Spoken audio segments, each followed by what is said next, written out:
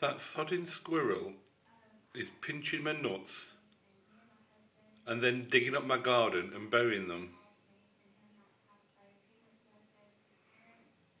Oh my god, Kim would go mad. Look, they only that, Squiggy, and a Maggie.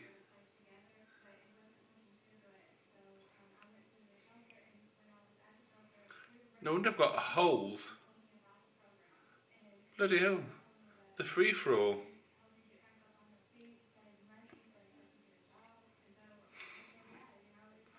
Squirrel chasing the bloody magpie.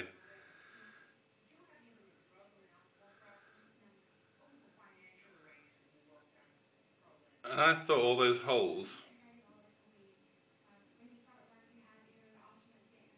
were made from the bloody um, ants. Yeah. This piss off.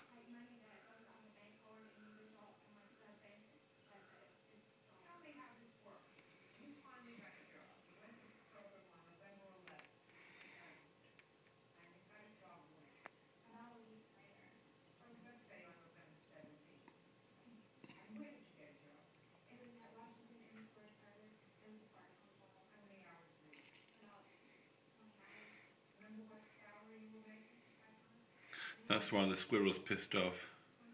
Because the magpie's digging up the nuts he's just buried.